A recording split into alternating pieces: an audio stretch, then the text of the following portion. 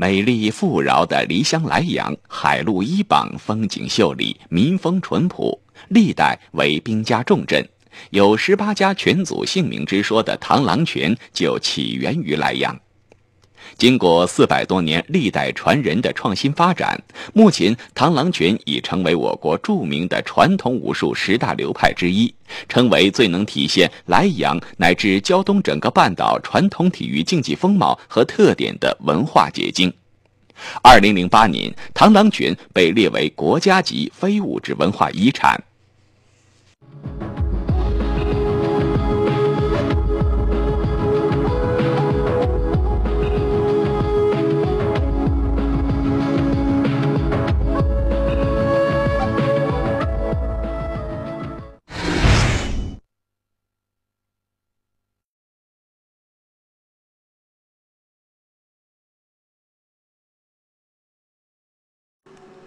如果说王玉山是螳螂拳在青岛、烟台地区的主要传播者，那么莱阳三山之一的李昆山在螳螂拳的影响力，则主要是在台湾地区及东南亚、美国等国家，可以说是螳螂门的台湾派。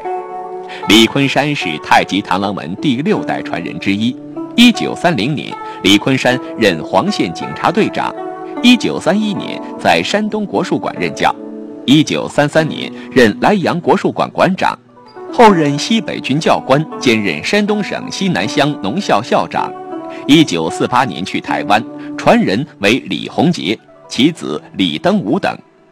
李昆山的外甥曾因主演《武松》等电视剧而名扬海内外的张炳斗，向我们说起了记忆中的李昆山，是非常的和善的一个人，他不笑，他不说话。啊，这是在我从小在记忆当中的，你知道吗？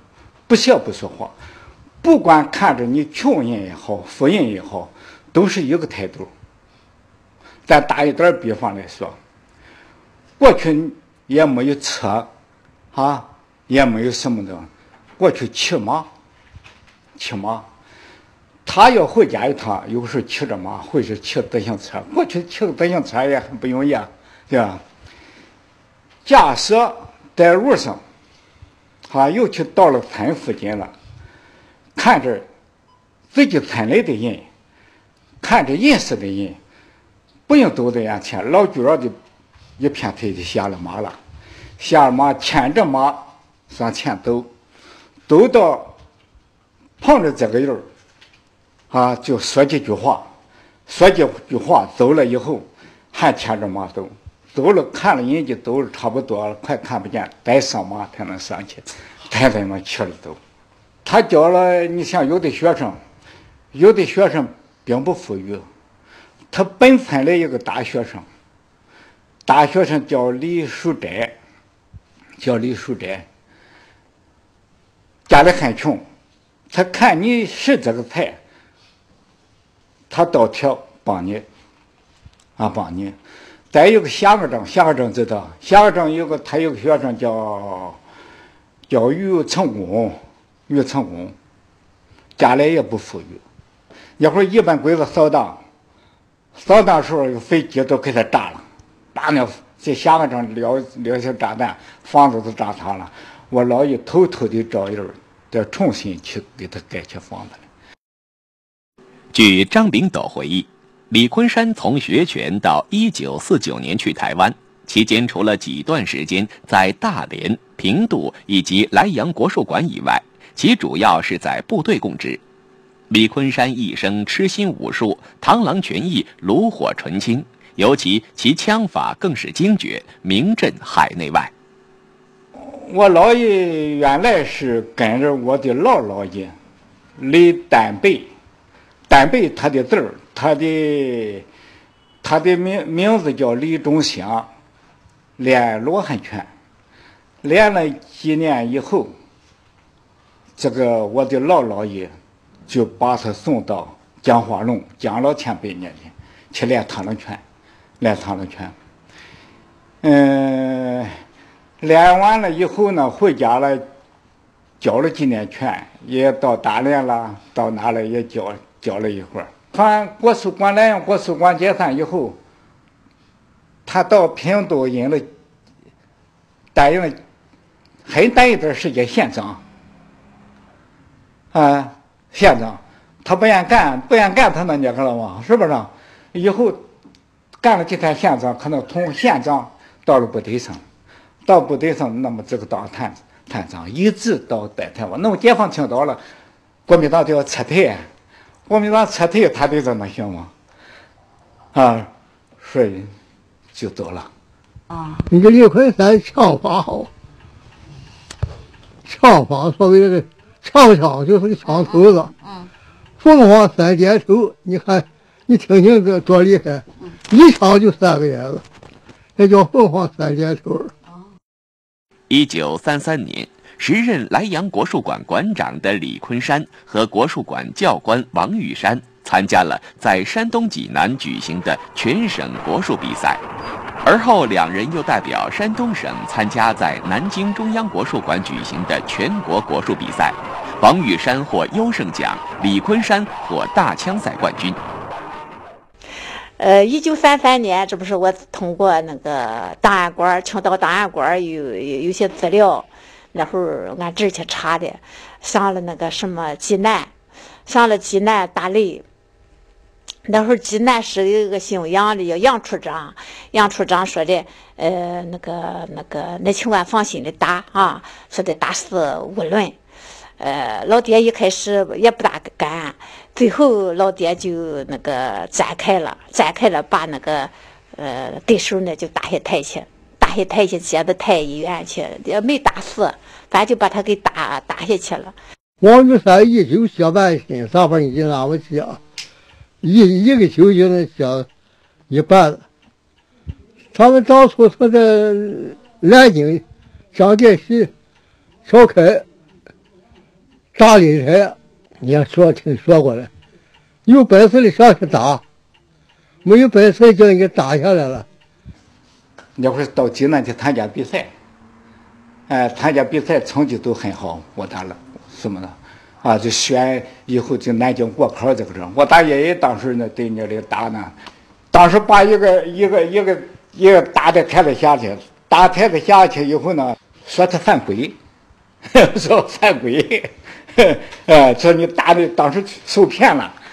那个总裁判长说：“哎呀，王老师，像你这种打法吧，像你这种打法，没有一个能打过你，你你你别打了，第一就是你的了，就不愿打了。”啊，他下去翻车，露露锤，一走接板身，把那个伙计撵的，就是腰上后退。到了那会儿，那个台子二七楼来高，到了那个台子就是根儿细了，好一个窝都锤，叭一一锤，把这伙计搓台下去了。说说我爷爷就是，也就是马哦那个马良打马良他侄子嘛。打完以后吧，还要下一轮还要打，说宣布就说这个王玉山这个拳不要打了。呃，就想着这有多少也不够他打的，他就用这个露露锤一走这半身，就用多少也没不抗他打的，就总之他比赛嘛。那时候还不出来主席在那还打擂台，打擂台有有六组员，他这是师徒三个，呃，弟兄三个，在在济南打打打擂台，然后还不出有师长，叫我叔叔打起来了。然后那个那个主席是个马良，你还不准就说了，你要这个拳脚这么厉害，但你你要有个谁敢说？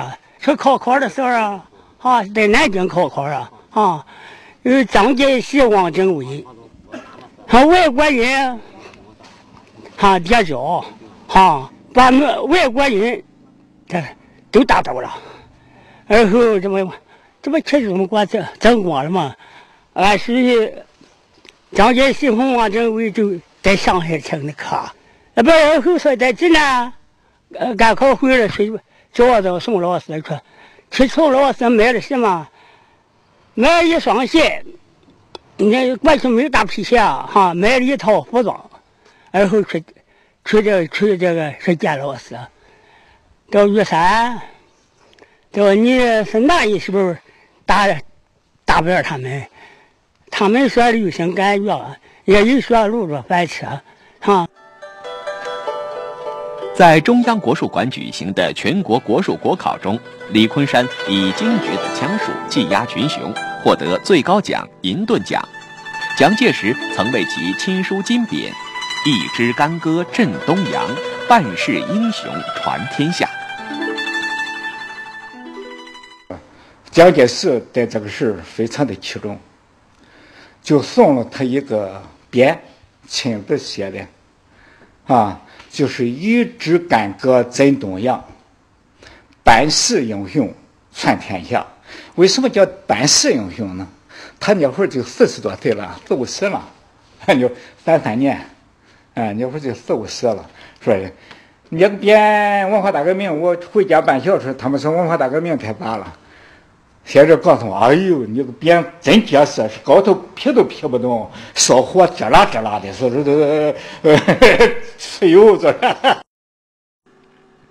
关于李昆山这次夺冠，张炳斗还向我们披露了一个鲜为人知的故事。他的唱腔第一嘛，当时，当时也差一点拿不着这个第一。为什么拿不着这个第一呢？当时的裁判员。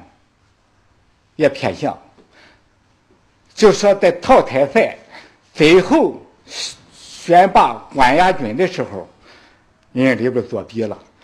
好，南京国术馆的馆长，他一个字儿抓对签了。他两个不就你冠军，就他冠军。他两个在扎的时候，当时那个仓一张一张二，前面缠棉花，前棉花。包着布蘸上粉子，这个比赛的人都穿一身黑衣裳，穿一身黑衣裳。他要求的也说，点到为止，不要伤人。就说你的枪叭点上一下子，身上就有个背点，这就说啊，你扎他一枪了。你裁判员当时他不是的，当时这裁判员一个棒的敲锣、吹哨、摆旗，就这么三个动作。啊，一敲锣，一吹哨，旗一摆，这你上了一局了。你说就，我老爷打了他十几个下子了，身上有十几个点了，没事 裁判员这么看着，我老爷一看，那非当他打他一下子，那就那就他冠军了。我老爷就说，把枪一撂，结果跳一边去，把手一举，说第一我赢了，说是他不说我败了。说我赢了这个第一。因裁判的因素，李昆山差一点没能夺得这个冠军。后来在蒋介石的干预下，比赛得以重新开始，李昆山最终获得冠军。你会蒋介石那场，蒋介石在看台上，就就在主主席台上，蒋介石说：“李昆山。”说没分胜负，你怎么能赢了？他不懂，他不懂，啊！我老爷说，你看看我打他身上多少个点了？裁判员没看着，裁判员没看着，啊！我不赢了，说能行吗？蒋介石把桌子一拍，啊！说李昆山，我问你，你敢不敢再打？你敢不敢再比？我老爷说：“我怕什么？”蒋介石说：“再比试着，再比的话，要是裁判员这么看了，这个这个蒋介石这就不要活着枪，他打不赢申请，他不想帮着你。这会儿两个人打，哎呀，裁判员都很紧张了，那会儿都坐小方凳，四个角儿哈，坐小。都躲了，现在裁判员不躲了，裁判员都在那儿，都在那好生看着。假使这会儿一舒服就坏了，啊！我老爷一般惯就不上瘾，他不上瘾。这会儿好，扎的时候，扎了第三枪的时候，活了人了，啊！啪一枪把他挑台子下去了，挑台下当时跌实了。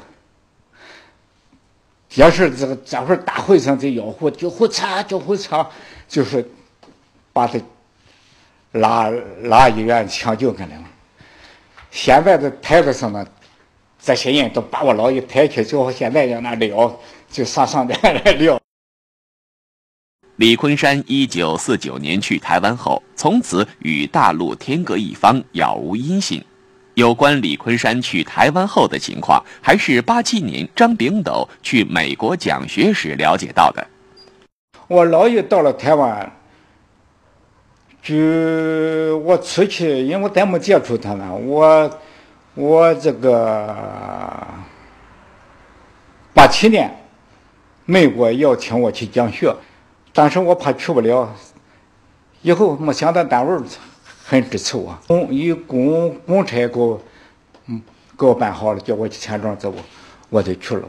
在年里，当时我去讲学的时候。整个的美国、台湾都有人去听课，都有人去去听课。当时都不知道我和李昆山这关系。我讲到一些理论东西，他们台湾人听我看，哎呦，说你讲的这个东西，怎么和李先生有些相同？我说哪个李先生？其实那会儿咱还小，咱在在记忆当中脑子有他的东西。咱现在经过大，咱经过的咱自己的，呃，咱自己的理解，咱又变成咱的话讲，他们感觉这是这一一一一样。我说哪个呢？他说李昆山，我笑了。我说那是我的外祖父，啊，所以台湾人这不就告诉我，当时我姥爷的情况。当时一去了，住在阿里山下边。阿里山下边自己一个一个小一个小独院的房，因为他情绪非常的低落，非常的悲观，感觉你看看这一辈子就怎么样了，就撵到台湾了，说三年没出门，在台湾三年不出门，对对对对对，他当时走的时候谁没，一直谁陪着他呢？他一个勤务兵，勤勤务兵。这个过去叫护兵，啊，呃，就是勤务兵，他叫他叫什么名呢？一直陪着他，陪着他走，陪着他去世。据张炳斗介绍，李昆山在台湾的传人主要为李洪杰、李登武等，其螳螂拳在台湾、东南亚、美国、法国等国家和地区有较大的影响。呃，我大舅，我大舅练得很好，我问我三舅不练。我的大舅在在大陆上没走的时候叫李志茂，他到了台湾以后叫李登武，叫李登武。我当时我不知道，我怎么不知道啊？有我看个报道，说李登武怎么练拳。呃，不，李昆山的儿子李登武怎么练拳？李昆山怎么这个知道不讲当年？我就说，我的才舅李，说我姥爷儿子，我就叫他舅我哪有个李登武的舅 对不对？以后哦，这是我大舅改了名了。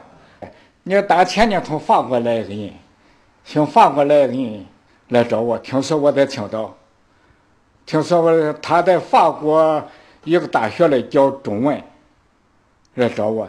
他比我大，他年年他比我大两岁。来他一介绍，我就这不好他认识了。他说他在台湾经过熟人介绍，跟我老爷一直练到初中毕业，连到初中毕业嘛以后不练了，就到了美国了。到了美国以后，这不现在到了法国了。李昆山、王玉山济南、南京一战成名，自此螳螂拳声震武坛，扬名海内外。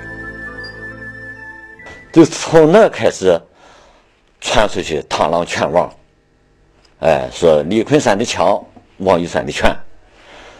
从那也有，当然当时看比赛的肯定也有，也有很多外国人。应该说，从那开始就也就名扬这个海外了。都知道中国，哎呦，螳螂拳厉害。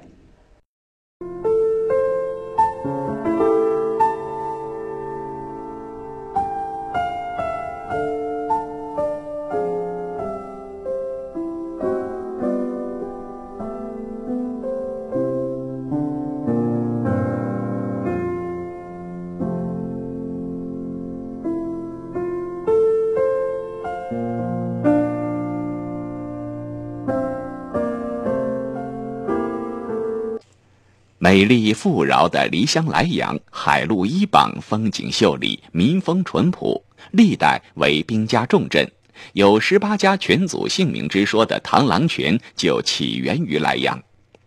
经过四百多年历代传人的创新发展，目前螳螂拳已成为我国著名的传统武术十大流派之一，成为最能体现莱阳乃至胶东整个半岛传统体育竞技风貌和特点的文化结晶。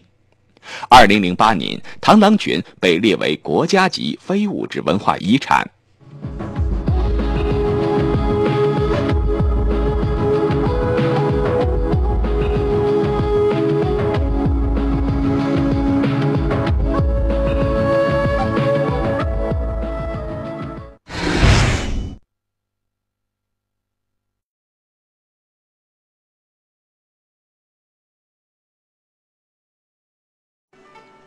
在螳螂拳的传播发展史上，另一个重要人物就是莱阳三山之一的崔寿山。崔寿山字鹏年，莱阳市万地镇东珠路人，是太极螳螂门第六代传人之一。崔寿山是螳螂拳第五代传人宋子德先生的外甥，一九零五年随宋子德先生学习螳螂拳，一九一二年开始传授螳螂拳。一九三三年任教于莱阳国术馆，一九三五年在烟台开设崔寿山拳法，一九三七年开设寿山武馆，衣钵传人为烟台张凯堂、崔俊、其子崔洪照等。崔寿山在烟台及胶东武坛深具影响力，可以说是螳螂门的烟台派。我身后这里呢，就是一代螳螂拳宗师崔寿山老先生的故居。崔老先生一八九零年出生，一直到一九六九年去世。他一生的时间，应该说除了外出拜师学艺、开设武馆传授螳螂拳之外，大部分时间都是在这里度过的。那现在这个房子是一九八四年重建的，在重建之后，已经很难寻到当年的痕迹了。我们一起去看一看。在这个地方。呃，搁这儿蹲下，对面是两道正房，两道，那个平房那儿那是一道，这呃就是我爷爷睡这个地方。这这是个大门，大门多少来原来？这个大门口。这个石头是原来。哎，这个石头就是原来大门儿的。崔寿山一九六九年去世后，葬在村西头一块坡地上。据了解，这个墓地是零八年重新修建的。太极螳螂拳第九代传人刘旭基为崔寿山先生撰写了碑文，对崔寿山先生一生为螳螂拳的发展所做出的贡献给予了很高的评价。啊，我爷爷就是在那个零六六九年去世了，去世了以后，呃，这不就葬在这个地方，葬在这个地方就是。啊，零八年这边又为了烟台有体体育体协哈，提协下来，呃，又另建了。另建了以后，这边在一二年这个，呃，村民来都来扫扫墓，从国外了，啊，烟台了，大连了，啊，土地土人都过来，呃，一起扫扫墓。哎呀，当时我爷爷去世的时候，哎呀，村来可真是全村。可以说，全村的人都出来了，把个大街围得满满的，人山人海的，简直可以说是，鼓着吹手，鼓着吹手，是吧？好像是走几步就是一停，走几步一停，一直从村东头走到村西头，才用地的才安葬。这村里人对我爷爷这个还有这个尊敬程度，真是。真是没法形容，可以说是，都说哎呀，这个老人去世真可惜了，这真是对我们这个武林界的一大损失，可以说是。嗯嗯。自崔寿山大师一九六九年去世，至今已过去了六十多年的时间。随着岁月的流逝，现在的东珠路村已是旧貌难寻，与崔寿山大师熟悉的当事人和知情村民大多已故去。崔寿山嫡孙崔广和和几个知情村民向我们回忆了当年崔寿山大师的一些往事。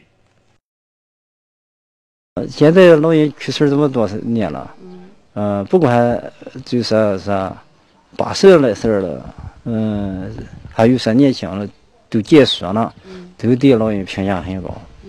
他那屋德，这玩意儿有本书，他自己写了个书，写本小书我看都自己都他拉徒弟，他不管是说你有钱就行啊，都在最起码把这个呃德行，嗯，先学好了，才能教你的武武功。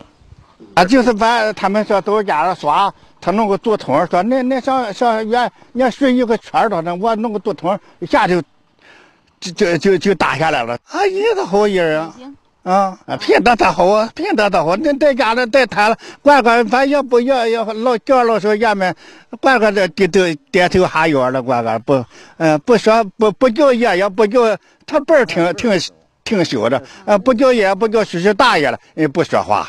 哎，家里面啥爷爷都什么了，叔叔都什么了，哎，这现在这么样儿，哎，人家的品德他好。七十七十来岁从烟台回来，回来说在那个油坊冬天，就上上老人上油坊一场去耍，也在上油坊暖和哈，玩了耍。耍呢，到时候啥人寻思，哎呀，说叫老人看看老人，嗯，这个功夫怎么样？嗯，这会儿，哎呀，说那个。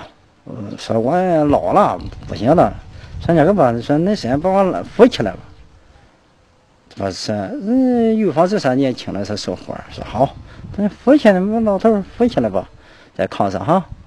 这会儿一个先扶起来，一个不行，又加两个，两个也扶不起来，三四五个小伙儿嗯把也扶起来，这就说，哎，说这下说行了吧？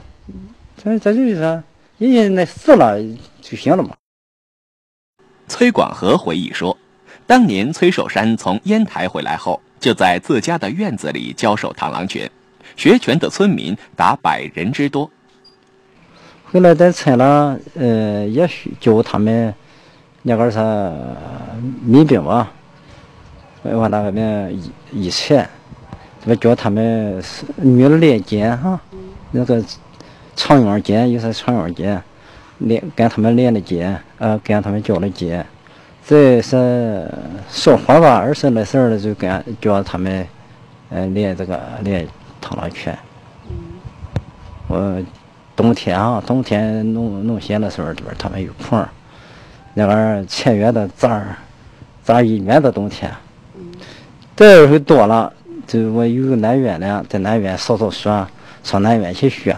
哦，我那儿学就学点占卜，嗯，三水什么，呃，那个占卜那是需要了啊。你你从哪儿在，你能占好也好，是不是？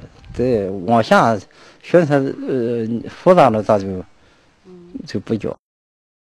现居住在烟台崔守山的侄孙崔浩，自小因病跟崔守山协练螳螂拳，曾在莱山螳螂武术馆任过教练。他对当年跟随崔守山学拳的情况记忆犹深。啊，当时我的爷爷怎么回到家以后，才来也挺重视的。村里就有个俱乐部，因为我们东苏的村爱唱京戏、唱京剧，每年过年哈都排一些京剧节目。当时村里这不就是就是每天晚上哈，在这个排练这个京剧节目之前，就叫大家伙都跟着跟着我爷爷学学学螳螂拳。所以说，都跟着创锤、占卜、练基本功。我十五岁那年，我爷爷就七十岁了。当初就开始教我功夫，教我功夫特别的认真，特别的严格。对我这个功夫教的是特别的严格。啊，我练的时候一招一式必定要学好了，手脚到位。练不好是不行的。当时我那时我还上学，我就早晨练一个小时吧。晚上回来再练一个小时，这是两个小时。再就是我们村儿还有几个也都一块跟着练，啊，这都以后。所以说我的爷爷对我是要求的特别的严格。再就是平时我那些叔叔，呃，我的我的叔叔还有村儿的几个大爷都跟着学。当时我的叔叔是一米，也是一米七五六的个，身体长得特别壮，个踢小车都是五六百斤都不成问题踢了，体格都相当的壮。但是到了我爷爷手了，不行了。一笔画一张一张，这打出去了。这是我亲眼所见，这是。当时我爷爷上院子里有一个草垛吧，搁到那有五六米远，啊，这不一笔画这个章是吧？哈，你想着用个什么手法一印一用一脚一掌打出去，一下子这个人就走了，就飞在草垛上。我爷爷说，当时我们练的时候练这个打这个沙袋，这个沙袋是装上三百斤黄豆，能牛皮缝起来，这么打，这么用掌推，用拳打，用膀子扛。所以说，干练到能把这沙袋打出去了以后，打个印说了，就和打一个水一样的，飘着声就出去了。哎呀，我这个真是亲眼看见了。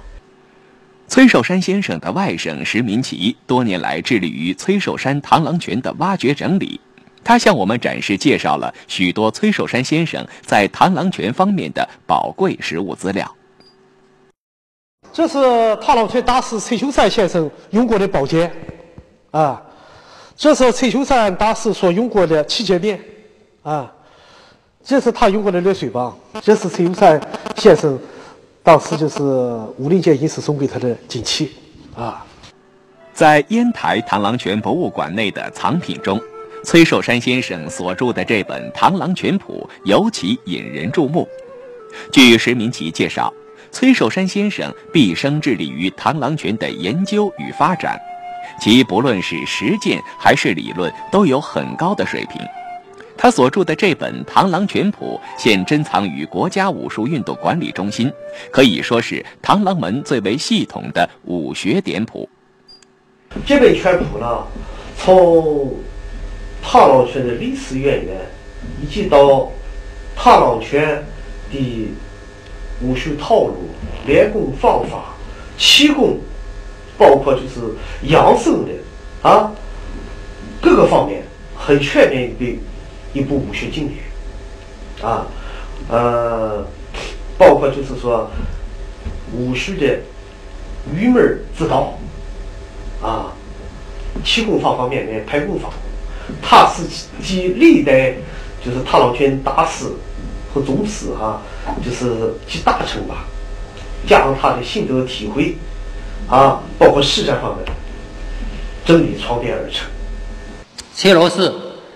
为什么在这个哈莱阳三山有名，在烟台这个地方这个地区，这个声名远扬啊？无非这么几个条一个都是他当初儿投了名师啊，宋子德，他得了他的衣钵金传啊。再一个就是说，崔老师把所有的他给螳螂拳的东西都把它汇聚成册，都留下了，这就是太极螳螂拳拳谱。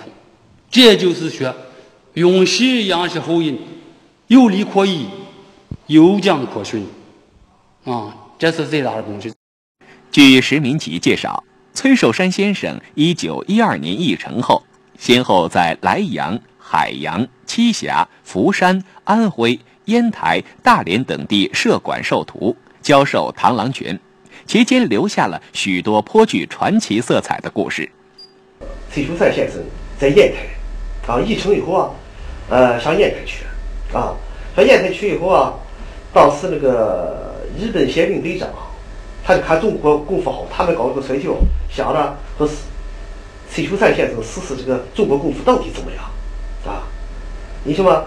他当时从那个崔秋山先生说：“这样吧，我给你个后路药，你搂着，啊，你搂了以后啊，就是你能把我摔倒就算你赢了，啊。”他当时把崔秋山先生抬起就抱起以后摔下来后。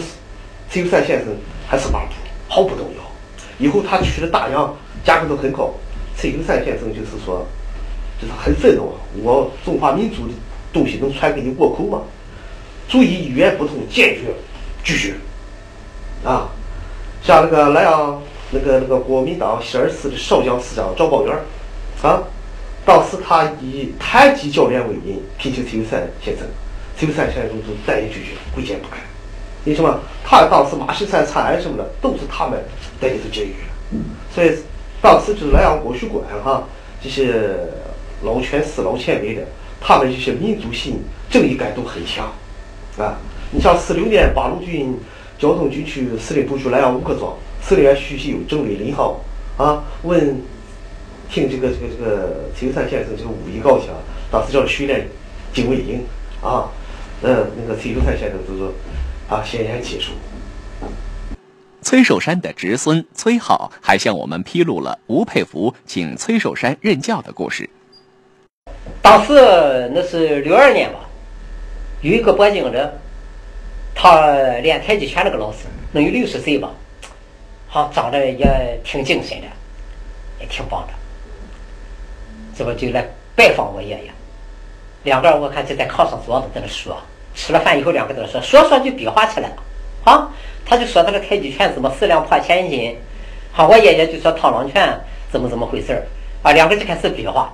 干比划了，比划了几手，我爷爷说：“哎，在炕上比划不开，咱们上院子吧。”哎，这个太极拳老师说：“啊，不不不，说崔老师，说你的功夫，啊，哎，我是知道，你的功夫就不用说哈，哎，我是肯定不行了，是的。所以说，从这一点看，这个太极拳老师他也知道，他这通过这一次手，他就知道我爷爷的这个内功、外功。”